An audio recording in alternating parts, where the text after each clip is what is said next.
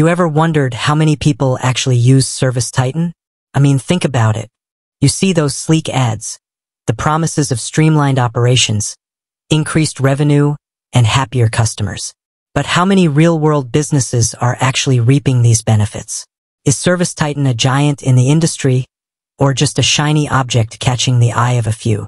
Let's dive in.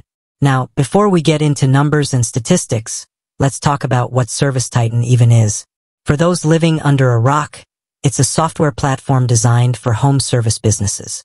Think plumbers, electricians, HVAC technicians, the folks who keep our homes running smoothly. It promises to handle everything from scheduling and dispatch to customer management and financial reporting. But is it worth the hype? And more importantly, how many businesses are actually using it? Unfortunately, Service Titan doesn't release exact user numbers. It's a common tactic among software companies.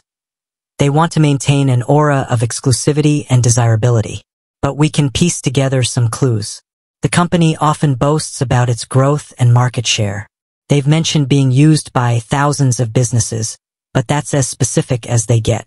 We also know they've raised significant funding, which implies a substantial user base to justify the investment. Then there are the industry reports. These often talk about the growing adoption of field service management software, a category Service Titan falls under. While they don't single out Service Titan, they give us a general idea of the market size. So what can we infer? Based on the available data and industry trends, it's safe to say that Service Titan has a significant user base. It's likely being used by thousands, if not tens of thousands, of home service businesses. But is it dominating the market? That's a tougher question. There are other players in the field service management game, such as QuickBooks, Houzz, and Jobber. These platforms might have their own strengths and weaknesses, but they're definitely competing for market share. So, while Service Titan is undoubtedly a major player, it's probably not the only game in town. Now, let's talk about who's actually using Service Titan. Based on available information, the typical Service Titan user is a home service business likely with a decent number of employees. They're looking for a way to improve efficiency, reduce costs, and enhance customer satisfaction. But here's the thing. Not every home service business needs a full-blown platform like Service Titan. Smaller operations might find simpler solutions sufficient. And larger enterprises might have specific needs that require custom software.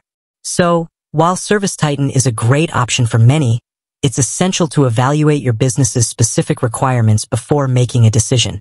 Another factor to consider is the geographical distribution of Service Titan users.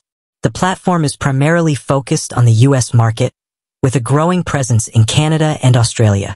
So, if you're operating in a different region, your options might be limited.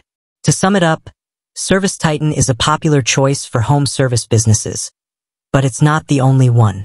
The exact number of users is a bit of a mystery, but it's safe to say that it has a substantial user base. Whether or not it's the right choice for your business depends on your specific needs and budget. It's always wise to explore different options and compare features before making a decision. With that said, thanks for watching and until next time.